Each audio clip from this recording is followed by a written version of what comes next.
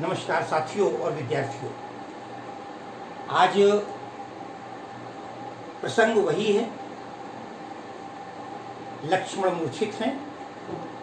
हनुमान जी संजीवनी लेने गए। भगवान राम उनकी प्रतीक्षा और विलाप कर रहे कल वाले प्रसंग में भगवान राम ने कहा, निज जननी के एक कुमारा तात तासु तुम प्राण आधारा साथियों, विवादित चौपाई कुछ लोग मानते हैं। क्लास ट्वेल्थ के स्तर में मैं यही कहूँगा कि आप ज़्यादा गहराई में नहीं यदि आप गहराई में जाना है तो हमारा एक वीडियो है राम कथा पर। लगभग 40 मिनट का उसमें इस चौपाई पर मैंने व्याख्या की है। जीवन में सुनने के लिए, बड़े बूढ़ों को सुनाने के लिए या कभी कोर्स से हटकर सुनना हो तो सुनिए। बाकी जितनी सब चौपाई में पंक्ति दी गई है, उतने का अर्थ लिख दीजिए। निज जननी के एक कुमारा तुम अपनी माँ के अकेले वो बेटे हो, जो तात तास तुम प्राण आधारा, तुम उसके प्राणों के आधार हो। सामान्य से मैं एक या दो अर्थ बता दूँगा आपको। बस सीधा आपको लिखना इतना ही तो अपने माँ के अकेले बेटे हो, और तुम्हारी माँ के तो अपने प्राणों के आधार हो।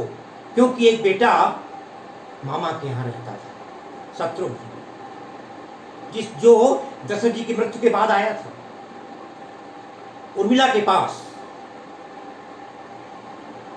उर्मिला और सुमित्रा, उर्मिला उनकी पत्नी थी लक्ष्मण की, और सुमित्रा के पास केवल एकमात्र लक्ष्मण ही थे। इसलिए माँ का एक बेटा, एक एक अर्थ कुछ लोग और ले लेते हैं। वो कहते हैं, निज जननी के एक कुमारा मैं अपनी माँ का अकेला बेटा हूँ। कई लोग ऐसा मानते हैं। निज जननी के एक कुमारा, मैं अपनी माँ का अकेला बेटा हूँ। और तासु तात तुम प्राण आधारा। हे भैया, तुम मेरे प्राणों के आधार हो।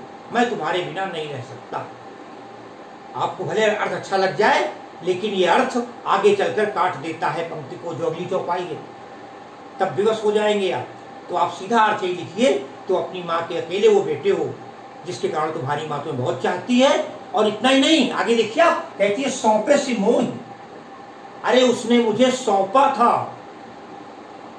राम को सुमित्रा ने चलते समय कहा, ये लक्ष्मण को ले लो। सौंपे से मोह ही, तुम ही, तुमको सौंपा था। स्वाभाविक है, जब कोई बड़ा कहीं जा रहा होता है तो छोटे लोगों की ज़िम्मेदारी बड़े को दी जाती है। सौंपे सिमोही तुम ही ऐसे भी नहीं सौंपा। सौंपने का भी तरीका था गए ही, पकड़ करके, हाथ पकड़ करके, क्या पकड़ा? पानी। मैंने बताया था कल आपको, पानी शब्द पानी से बना है, और पानी माने हाथ होता है।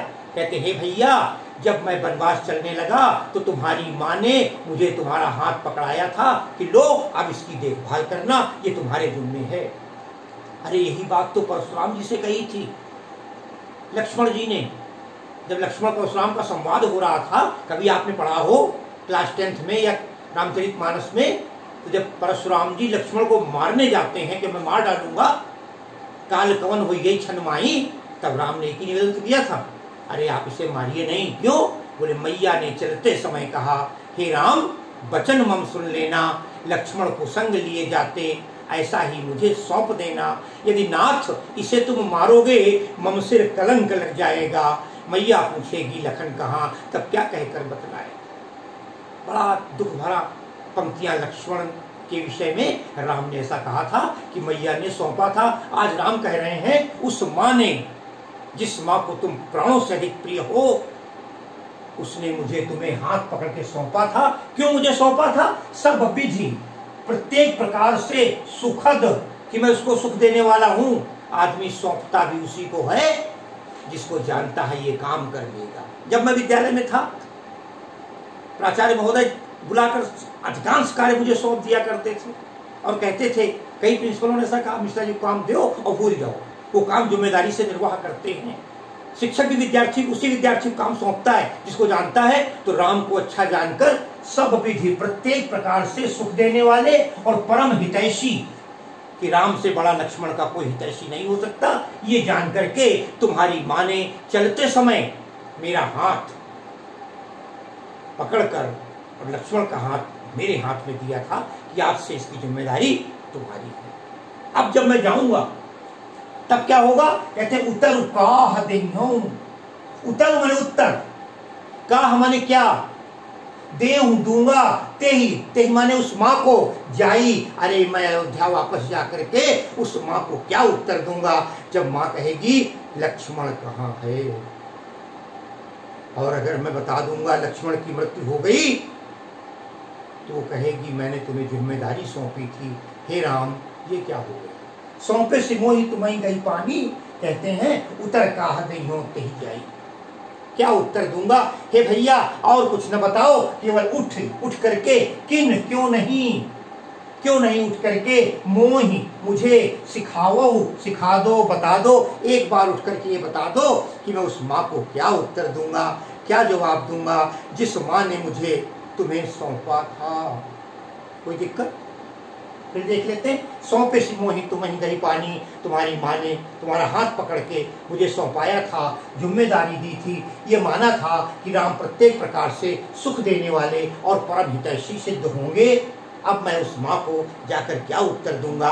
हे भैया, एक बार उठ करके ये समझा दो, बता दो। आगे देखते हैं। बहुविधि सोचत सोच विमोचन, बहुविधि सोचत। एक नहीं, बहुविधि अनेक प्रकार से सोचत सोच विमोचन। सोच रहे हैं राम। अनेक प्रकार से तमाम बातें सोच रहे हैं। कौन सोच रहा है? सोच विमोचन। पंक्ति थोड़ी सी कठिन है। अगर आप गंभीरता समझेंगे तो। बहुत प्रकार सोच रहे हैं। कौन सोच रहा है? सोच। जो सारी सोचों को यहाँ सोच का शोक है। जो नाना प्रकार के दुख। लोगों के क्या कर देते हैं? विमोचन। जो लोगों के नाना प्रकार के दुख दूर कर देते हैं, जो सारे संसार का दुख दूर करने वाला है। सो तुम जानो, अंतर्यामी, पूर्वहु मोर मनोरथ स्वामी दीन दयाल विरुद्ध संहारी हर नाथ, मम संकट भारी, जो तमाम संसार के संकट को दूर करते हैं, जो संकट मोचक हैं, जो लोगों के दुख दूर करने वाले हैं। आज वही क्या कर रहे हैं? बहुविधि अनेक प्रकार से सोच कर रहे हैं, जो स्वयं सुख कल्पना कीजिए, कोई कह दे, लक्ष्मी जी, जो सारे संसार को धन देती हैं, वो इनसे आज याचना कर रही हैं, पैसे के लिए परेशान हैं, या सरस्वती, जो स्वयं विद्या की देवी है, वो इनके आगे नतमस्तक हो रही है तो हमको सुनकर हँसी आएगी। आज तुलसीदास कहते हैं कि नाना प्रकार से अनेक प्रकार से सोच रहे हैं, वो सोच रहे हैं जो सारे संसार के शोक का, सोच का, दुख का, कष्ट का निवारण कर देते हैं। दुनिया जिनके आगे हाथ फैलाती है, झोले फैलाती है अपने दुखों को दूर करने के लिए, आज वही राम नाना प्रकार से सोच विचार कर रहे हैं। मैं समझता हूँ, स्पष्ट हो गया होगा। बहुविधि सोचत, सोच विमोचन साथियों, एक बात और बता दें आपको यहाँ पर। सोचत, सोच। अगर आप एक अलंकार होता यमक ये तो आपको पढ़ा है।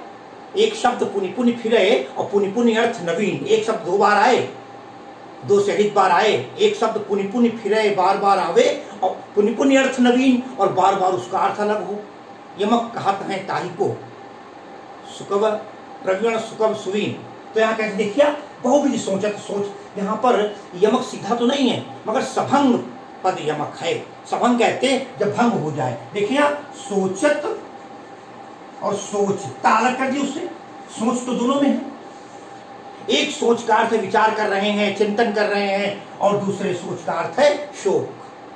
इसलिए यहाँ सभंग पद यमक हो जाएगा। और बात एक मिनट देखा, बता देते हैं आपको।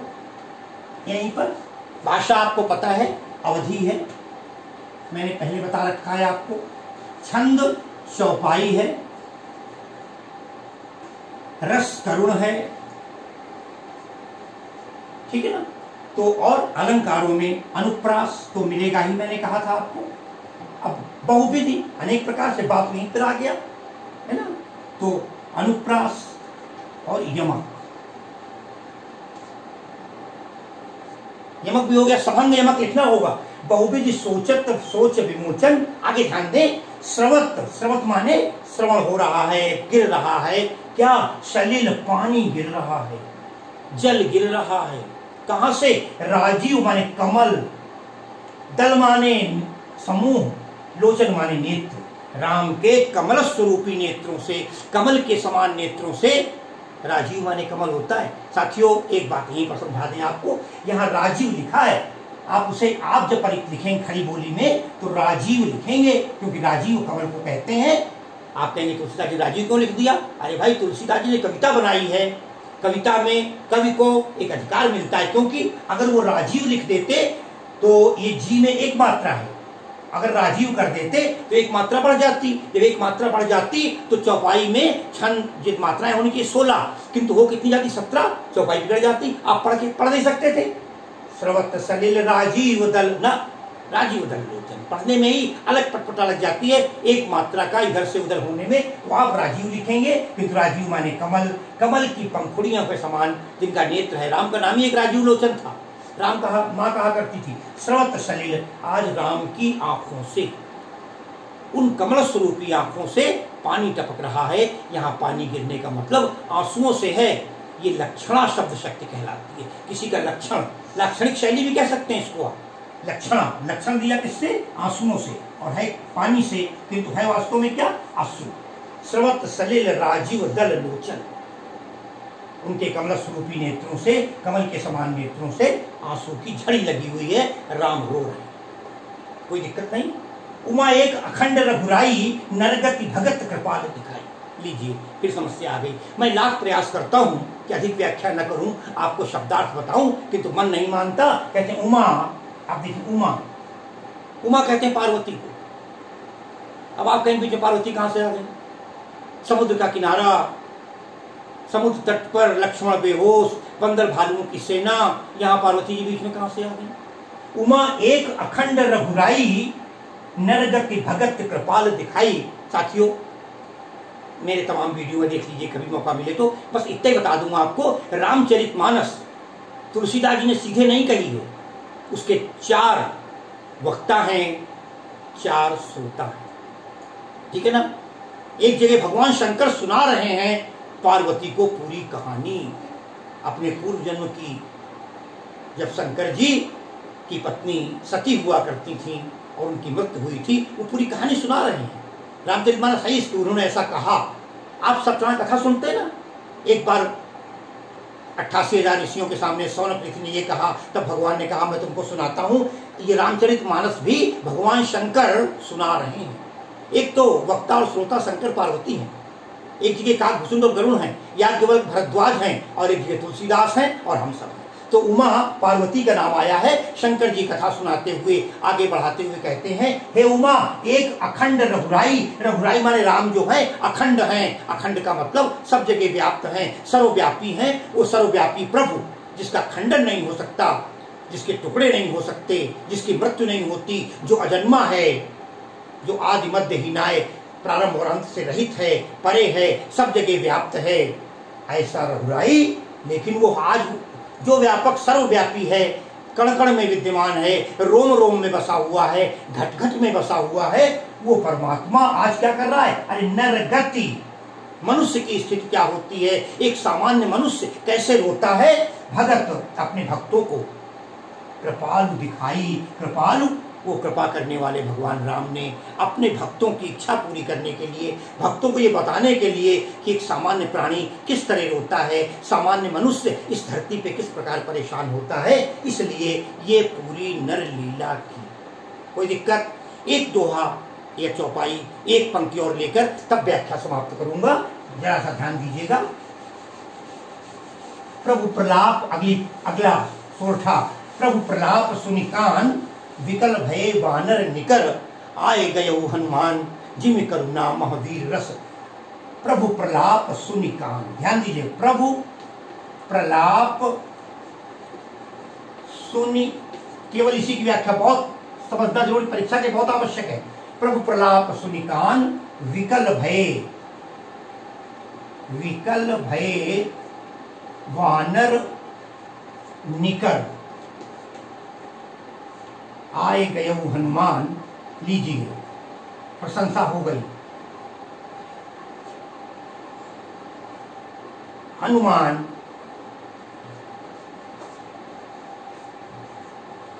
जिमी करुणा महावीर रस। जिमी करुणा मह वीर रस। साथियों, ध्यान रखिएगा इसको गलती से आप दोहा न कह दीजिएगा ये दोहा नहीं है। दोहा छंद केवल आपकी पुस्तक में एक ही है और इस छंद का नाम है सोरठा। ध्यान दीजिए।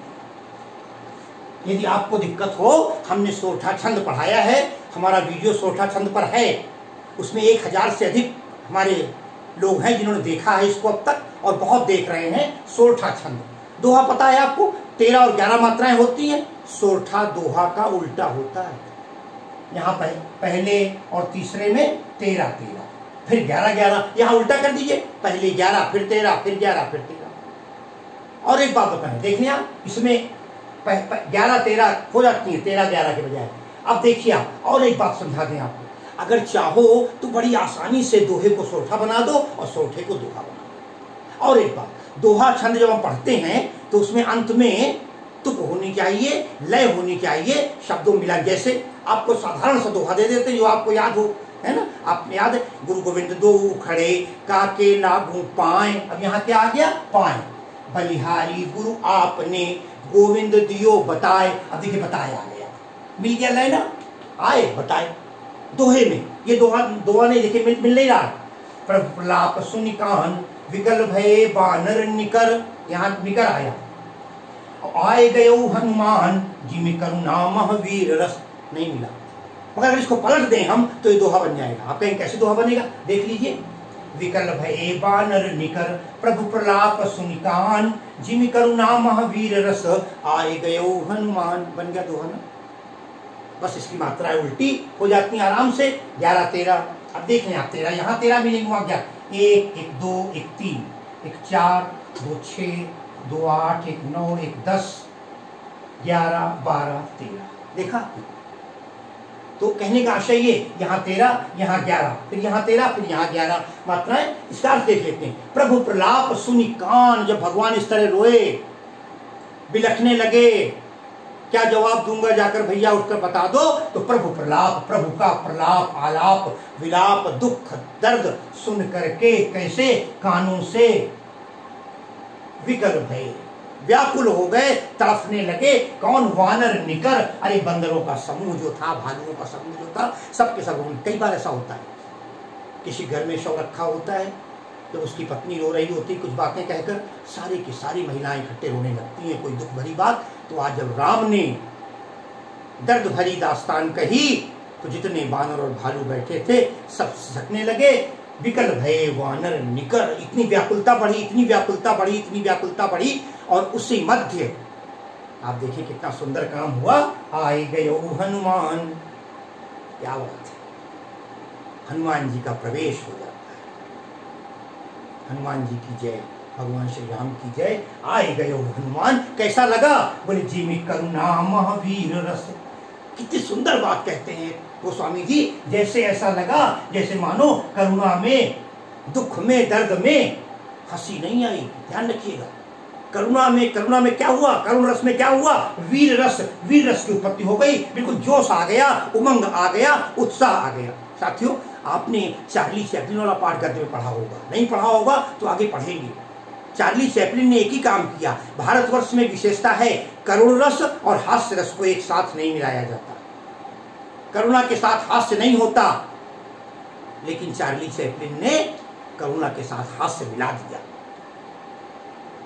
हँसते हँसते रोना सीखो रोते रोते हंसना।